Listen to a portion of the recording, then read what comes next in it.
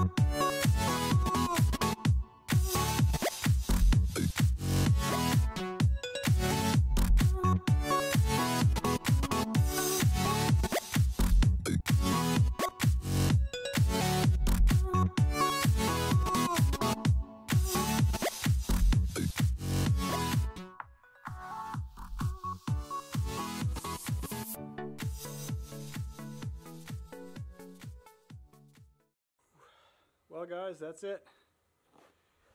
I got it done, but wow.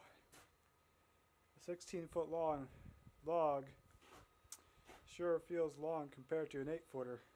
Whew. I had had a hard time getting it nice, getting it to cut straight because because the outside portion of the log was frozen. It was waterlogged and frozen.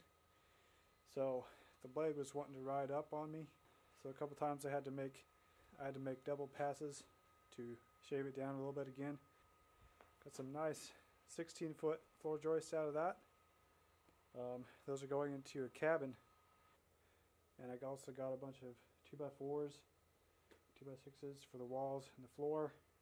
This tree actually came off the property that this cabin is being built on, so that's pretty cool. But anyway, thanks for watching guys, and until next time, happy sawing.